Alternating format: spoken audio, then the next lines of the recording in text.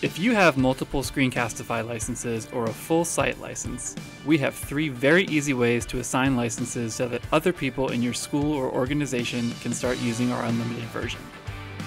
The first and simplest way is to enable automatic license assignment for your domain.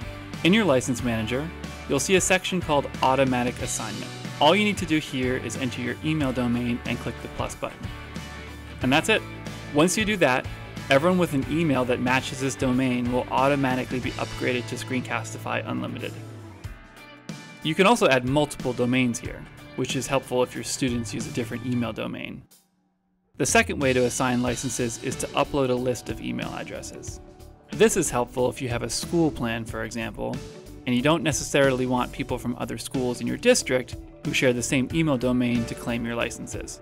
The final way to assign licenses is by manually typing in email addresses in the Assign Licenses section. This is probably the best option if you have a smaller number of licenses.